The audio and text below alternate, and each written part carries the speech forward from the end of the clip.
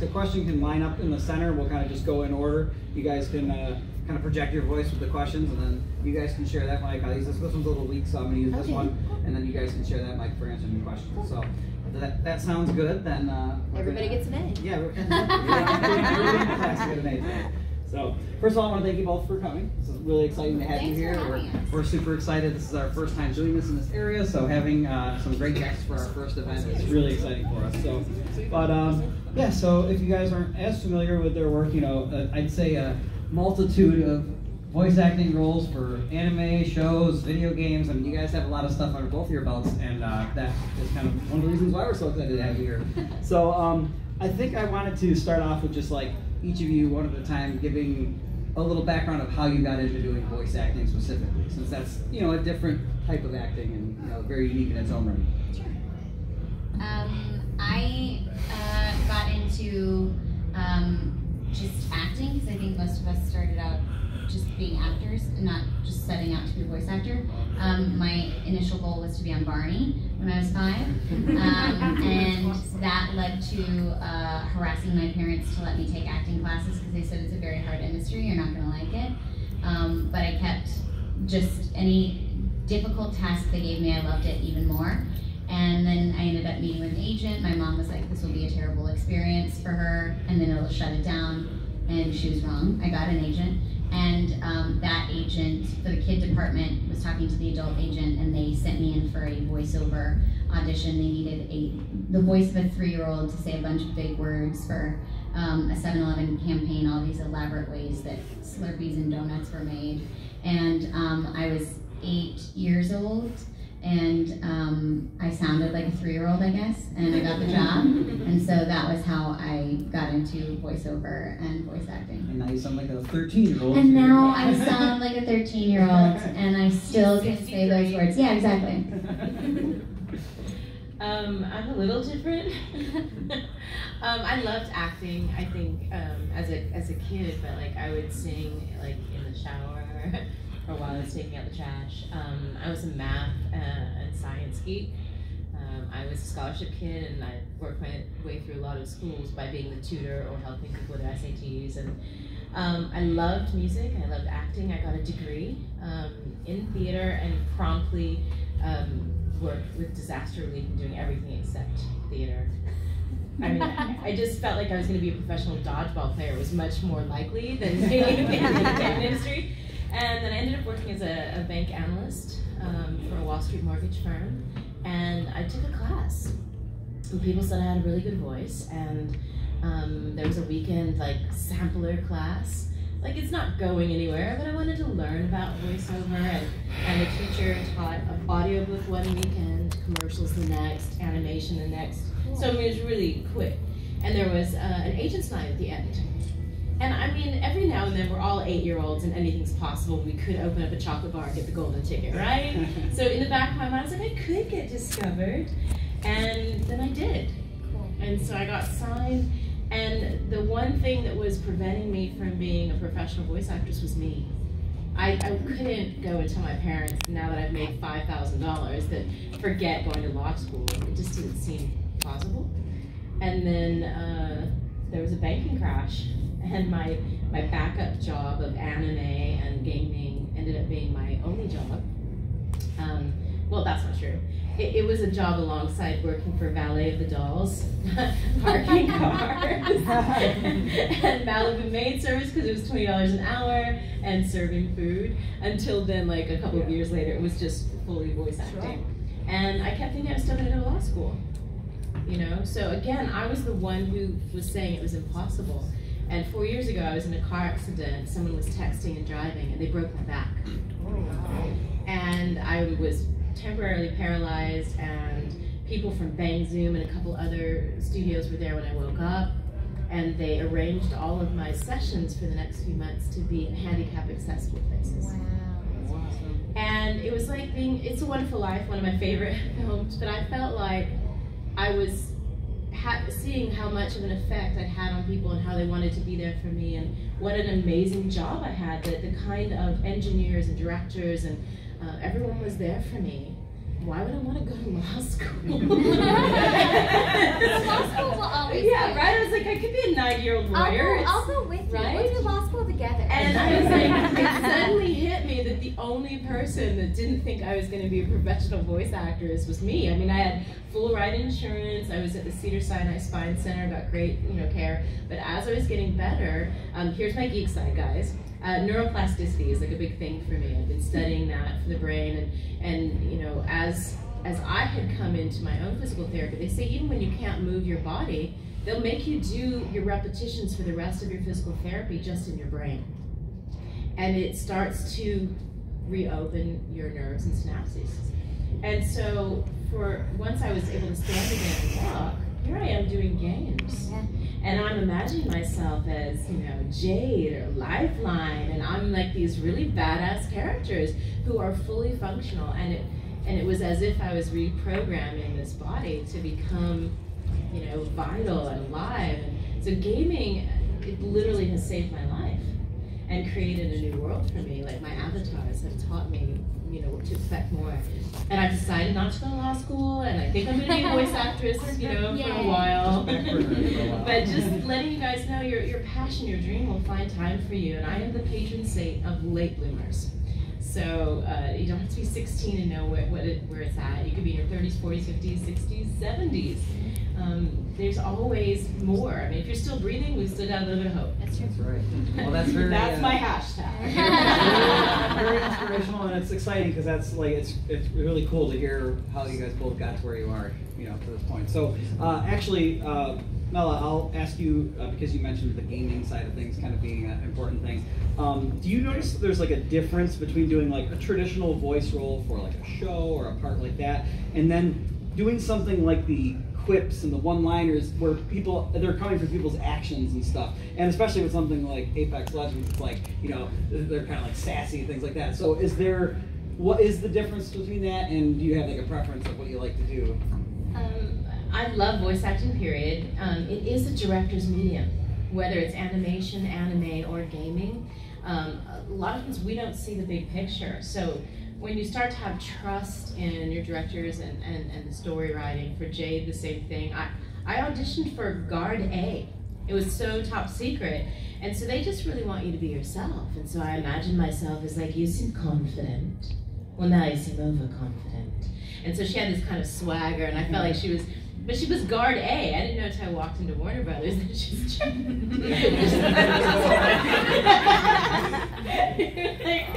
oh my god, I got the golden ticket. but um, I think that the difference is still acting and still trust with your director.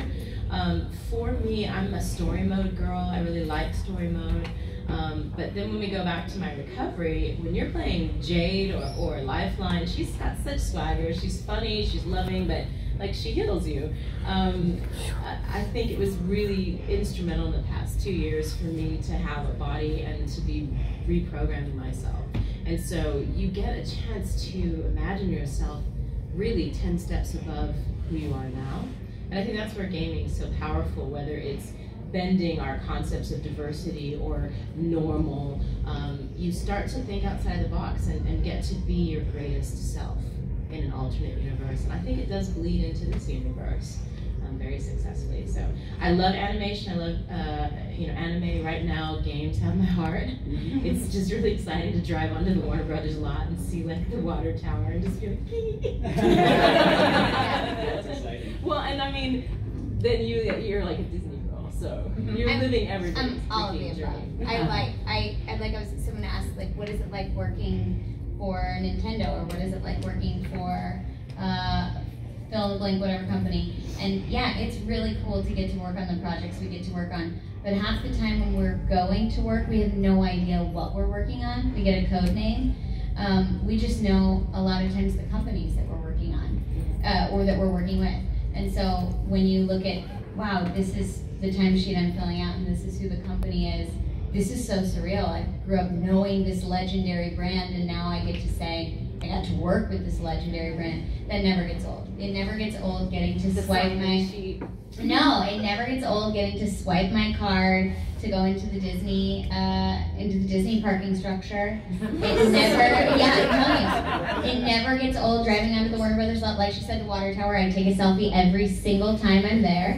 Um, anytime there's an audition, and I could just be auditioning for a, a one-line character on a TV show. Anytime I get to walk on the lot and I get my little pass, I save all of them. They like stay in my car until they start to turn yellow, and then I keep them.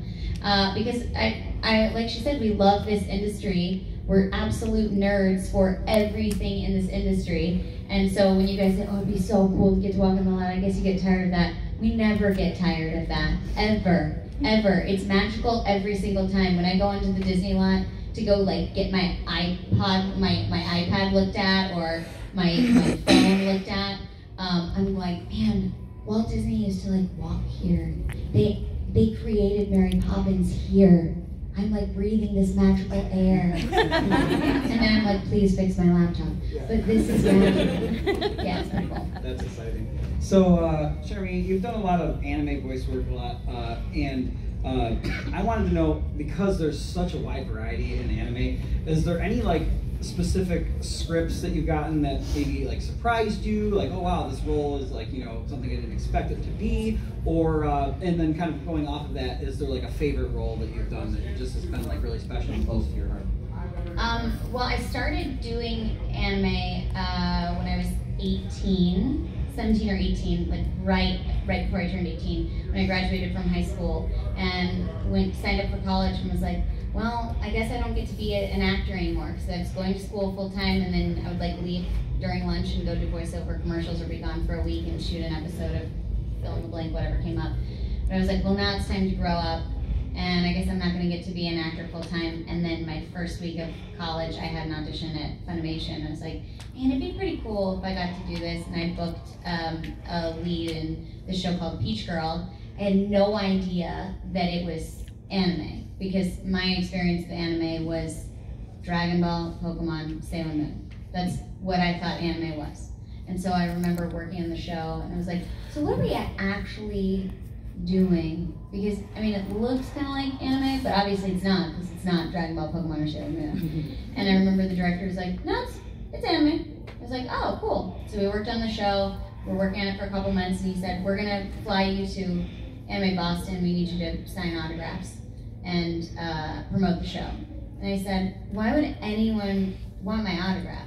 They don't know. The show isn't out yet. I don't understand. They're like, no, people know about this show.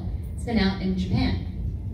Okay, but why would anybody want my autograph if it's already been out in Japan? And they're like, no, it, it's gonna be fine. I was like, so I go to Anime Boston.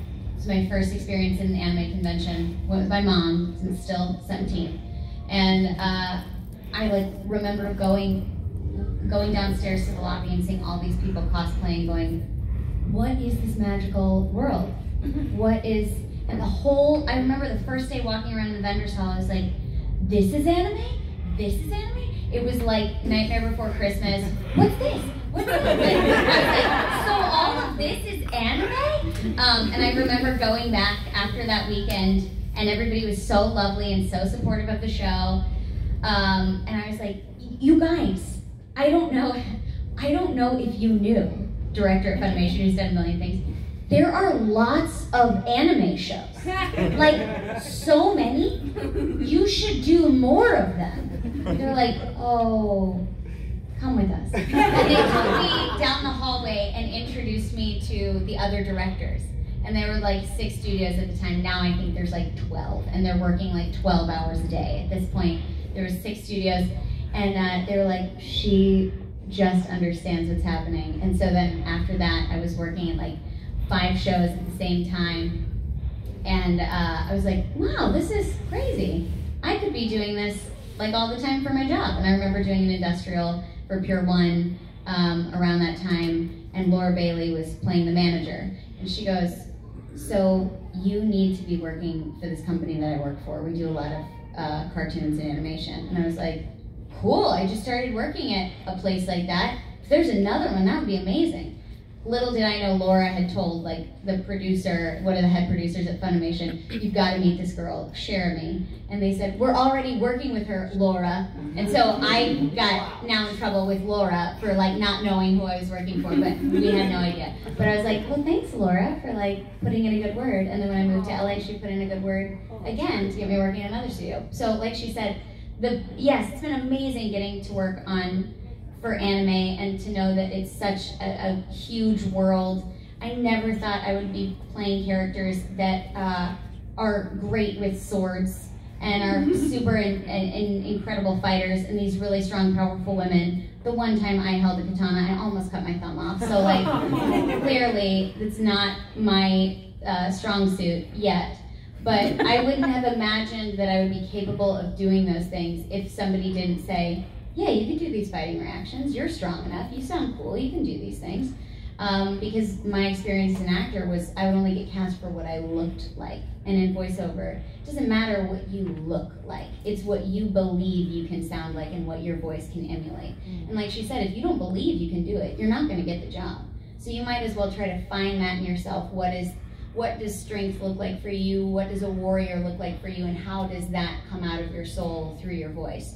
Um, and anime is all about doing that, which is fantastic. So it's really hard to pick a favorite because they've all come to my life at moments where I needed them. When I worked on Sword Art Online, it was the first time that I was um, dealing with uh, the death of a loved one, and so I learned how to process grief as Asuna was processing grief, and we did that at the same time. And I've had one of those like perfectly uh, serendipitous moments with every single one of my characters. So picking a favorite is way too hard. Also, like I said, a lot of them are really good fighters, mm-hmm. and they all like live in my head. So to upset one of them, be like, "Oh, I'm not their favorite." Don't set them off. Yeah, I don't want to. I don't want to have that no, sort of pressure. That's really cool. Yeah, it's, it's interesting to hear that. I mean, that's it sounds like the surprise of what you had in store for you ended up just making the whole no category idea. a favorite. Yeah, I, I, I, had no idea. I mean, me if somebody told me, me like when I was in high school or when I was a kid. Uh, you're going to be doing a lot of work, just your voice, and people are going to want you to travel all over the world, and people are going to care that you're there and want to meet you. I would have been like, okay, cool. um, but like,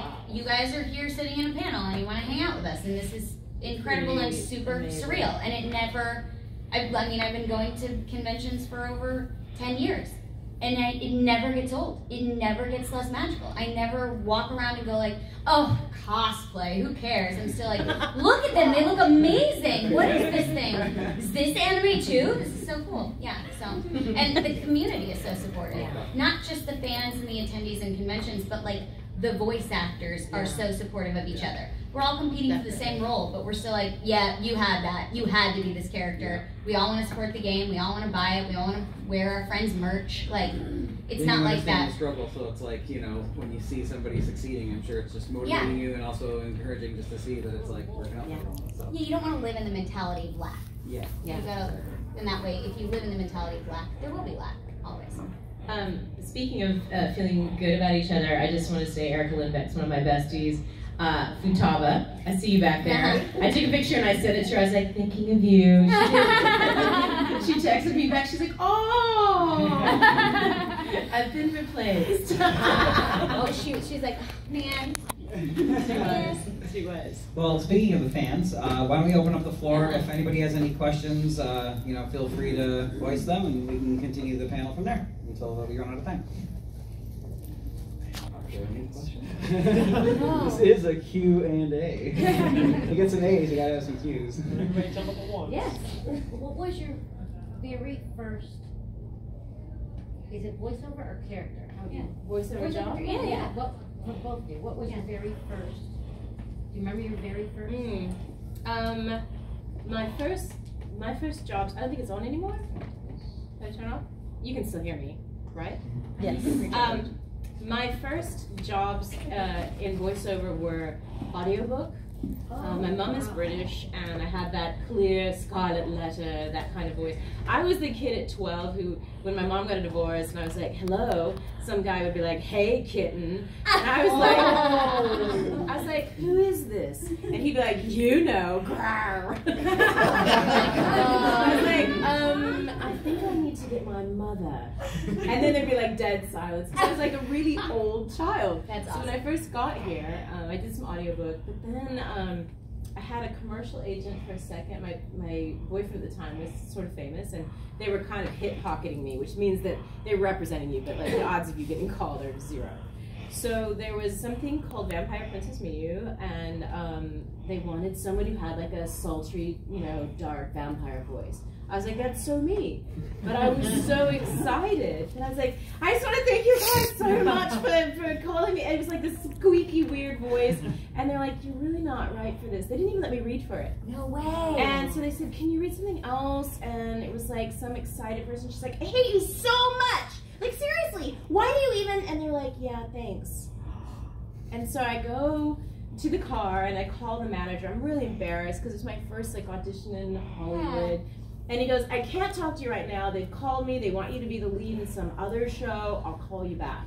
and it was Saint Tail, and it was like so a million years ago. I was like too young to understand what was happening, and I'd never done anime. And um, Steve Kramer was the director, so he he taught me as we were going how to do it. And I'm like her, like I. I was grateful for the job, and they had free snacks, and you know, but it wasn't like I was gonna quit my day job. Um, and then I like shoot forward eight years, um, and I am at a Comic Con, and um, I'm thinking, first of all, my first major convention was Comic Con San Diego. Yeah. Oh my god. That like the major. And it was two male actors, and I, in my brain, I'm in the show with them. I'm like, well, they must have needed a girl, like to balance it out, right? So I'm nervous, but they're doing all this camera stuff, and I'm in the middle, and I'm like, like so my friend Walter is the Black Power Ranger, and I see him, and he walks up to me, and, and we're at this like arc table. They, they walked us through a bunch of hallways and down at this, and there's a lot of people, and then we just sat down, and I guess I was just really focused on, I don't know, some signing autographs and just thinking, this is so cool, right? And Walter's like, why didn't you tell me that you were in Vampire Knight? And I was like, well, because you're a dude, and I'm pretty sure you don't watch girl anime. And he's like, there's nothing girly about that. and then he's like, he flips over the bag, and they always put characters on the Comic Con bags, Mhm. like the featured, there's like four special collector bag, and there was Yuki Cross on the bag. And, and I, I was like, well, what is she doing on your bag? Did you buy a bag? He's like, no, she's a big character. And I was like, no, she's not. And he goes, turn around. And there was this little tiny camera on like a tripod in front of us, and I thought it was for archive purposes or something. And I turned around and there's a jumbotron of uh, this this actor and this actor and me, and I'm like, thank God I don't pick my nose, like you know, because like anything could have happened there. Like I was like, oh my gosh, and there's a line out the door, and I'm like, so people watch anime. I mean, I was again, I was like free snacks. I didn't get to watch TV as a kid. Like none of this. And then somebody had emailed me. I thought it was a joke. They were like, "Hey, you know, I, I didn't even have a website at that time. I was starting a band, and I had gotten like a record, like a publishing deal on like some weird whim." And he emails me, and the guy says, um, "I see that you have a band." Uh, we need someone to play at our masquerade ball and perform in Sydney, Melbourne, New Zealand, Auckland. Could we pay for you and your band to come out? I'm like, yeah, Nicaraguan Okay, sure. prince. you know, like, I don't know what's happening. But it was another Comic Con. And so I spent that year like flying around the world because of anime. Yeah. And that's when it started kind of sinking in it was like another three years till the accident where I was like, all right, like the universe was literally like had to be in a car accident to wake me up. Yeah. But I, I was, it was so much fun, and and not to to to say that meeting you guys is not like the most amazing thing in the world, but the job before I knew that we would get to meet you and hang out with you. Uh, it was so great. Yeah. The people were so great. It's like you get to go to recess for work. Do you know what I mean? And and so it's just it was stunning and beautiful, and now and the rest of it's just been like a chocolate river. You know, like I'm I'm a big Roald Dahl fan, by the way. So I feel like you know some people are like, well, whatever, chocolate river, and I was just like, what? You can these? and that's what the the career is like. And you guys just, I was that kid who moved every six months when I was growing up. So I was at the lunch table by myself. And so it's like I have this whole new childhood, right? And we all get to eat together, and I get to know everybody. Long answer to your question. That was the first, you know, kind of job, but you don't really think of it as a job. Yeah. You're, I, I- I think I wasn't as young as you when I started. It's the same thing. We're just kind of floating in this, like, this is cool. Yeah. Uh, you're just happy to be there, but you're not quite aware of where you're at until somebody like pulls back the curtain and there's like a hundred thousand people at a comic con. Yeah, I mean, I my first, I know my first job for voiceover. Um, I was eight, and it was a campaign for 7-Eleven, and we did like four spots, and um, and then uh, because I was a kid who knew what it was like to be in a booth, and they knew that I wasn't going to freeze up or be weird. I was doing voiceover commercials every week, a couple times a week, and I would just leave during lunch and then go record these commercials and go back to school. And my parents had a rule that if I got uh, like a B, like a low B, like I had to quit. And I was like, I will not. So I would stay up late to make sure I got my homework done and make sure everything was all set. Um, and then I was working at Radio Disney. I was doing all the promos for them, which I thought was really cool when I was eight years old. I got eight dollars an hour and that was that was my money like that that the rest of the money went into like my banking account um, and it would like pay for headshots or classes or things like that. Uh, but the eight dollars an hour and we go in for a one hour session i was like i get eight dollars a week. I'm, I'm a working actor. And, um, and i felt i felt i remember at eight years old feeling like i have a job. Um, but let's be real, it wasn't a job. Uh, I mean, it was, but it was it was very exciting. And then, so that was my first like voiceover job. But I remember I was doing a bunch of auditions and doing uh, film and TV stuff when it came up. And then I got to audition for my very first cartoon, and I was nine. And I had auditioned for some other uh, uh, like sort of cartoons before then, and um, hadn't gotten cast. And so I was getting my first taste of rejection. Um, and uh, I had auditioned for this movie, and it was down to me and another girl, and there were going to be puppets in the movie, and they flew me to Nashville, and I met with the producers, and I was like, "This is going to be so cool! I'm going to be in this movie with all these puppets. It's going to be amazing." And then they called and told my agent, like, "We loved her. She was our choice, but once we saw her in person, she's really, really little. She was shorter than the puppets, so we're actually going with the other choice." And I remember crying in my room, and my mom said, You can cry for one hour. You get it out of your system because I will not let this business ruin my child. This is what you if you're going to be like this and it's going to eat you alive, you cannot do this because you cannot let this destroy you. And so I was so heartbroken. I cried, and I remember saying to her, You don't understand how much this hurts. And she said, I do understand how much this hurts. And mm-hmm. that's why in an hour, we're gonna go do something else. We're gonna go to the dollar store and we're gonna get a craft and we're gonna take your mind off of it, but you have one hour to grieve this role. This will not be the last time.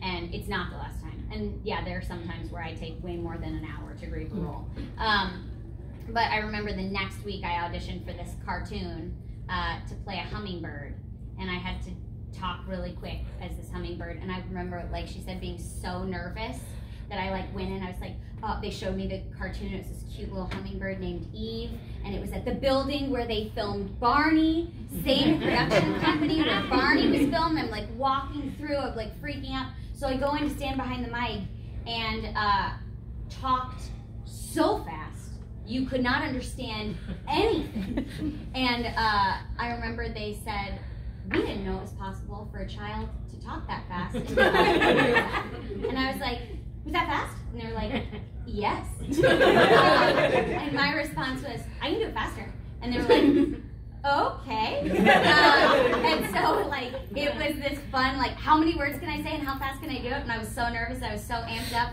They called my agent uh, right afterwards. Like, uh, I got into the car, and this never happens. It took like 20 minutes to walk out, get in the car, and my mom has a, a pager, and she gets an emergency page and uh, we had to go find a phone. And uh, she said they called Jeremy immediately, and she booked the job. How fast was she talking? and, um, so my very first like cartoon voiceover role, like a character, not like car- uh, commercials and things, uh, was a hummingbird named Eve. And I guess I got the job just for talking too fast. I'll take it. But I got to work at the company where Barney was made, and I got to work for the like a, a like year earlier. I had worked for the company where uh, uh, worked for the producer and the director of Barney. I never got to be on Barney. So close. I was so close. I, I when I worked with the director on my ninth birthday, I was like, I'm going to go meet with them, and they said We're, we want to talk to you. I was like, it's. Well, we, we live in a world of reboots, and maybe the Barney reboots uh, over the horizon. That's why I said Barney's and gonna be on an app now. The kids like log into the app and Well. like Barney shows up. It'd be great. If you'll be the. Uh, I want to. I'll direct an episode Yeah, or something. you gotta be involved somehow. Yeah, that'd be pretty great. But they told me like we think Barney, you being on Barney would ruin your career. And like, so that's why. But nine-year-old me was like, there is no career without Barney. but there is. There It's is. been okay. You- you gotta learn. Good for you, Cherami. Jeremy's gonna get it one of these One, days. one of these Hey, days. kiddo. That purple Well, dinosaur rooting in me. you, good, huh? The Are there any other got away. questions? Oh, yes, we got a couple now. Okay, why don't we start? I saw uh, your hand go up first. Um, so both of you did work on RWBY, right? And I was curious in comparison to a lot of the localization stuff you do, how working for Rooster Teeth since you're like the original actresses, how that was different than like dubbing anime and stuff. Uh, I cried a lot from laughing so hard. uh, they're a great team. They are a great team. Yeah. Um, it was very weird. I'd been a, aware of the show and a fan of the show, and then I got a, um, a message um, on Twitter, direct message from Kerry, um, which I thought was a joke. And uh, he It said, seems to be some of the best things in our life. Yeah, lives. exactly. From that, you know, joke email to and uh, he was like, "Hey, uh, I don't know if you're aware of our show, but we'd like to have you audition for something." And I was like, "Am I aware of your show? I'm a fan of your show." Uh, and so I auditioned for the role, um, and it was very exciting. I mean, with anime, most of the series is in existence, so we can research and know kind of what's coming, or the director's going to know what's coming. With uh, RWBY, I had no idea the plans that they had for Ilia. I had no idea if she was going to be like one episode or if she was going to hang around for a while. Um, and I just took it moment by moment. I wouldn't know until I got the scripts. And the sessions seemed to fly by. They never seemed like they were Yeah. long enough because we only did an episode, two episodes at a time, and we would do my lines, and then they'd say, "Cool, let's get some fighting reactions. Uh, maybe we can get some stuff that's like this." So I had no idea like what the fight scenes are gonna look like. I had no idea what was gonna happen for her. Uh, so the, when I'm watching the um, the final episode, I'm experiencing it for the first time like you guys are. Whereas with anime, like we see it, the characters are the, the animation is informing our performance as well as as much as the uh, Japanese voice actor is or whoever the original language is. They're all informing and giving us clues of what's going to happen. Um, but like she said, uh, with that, it was just trusting the the Rooster Teeth team of like, okay, cool, I'll give you some reactions. Hope you guys can do something with this. Um, and then afterwards, I'm like, wow, They did. you you guys really went all out with those three reactions that you needed. exactly what you needed. Okay. So yeah, they're fantastic.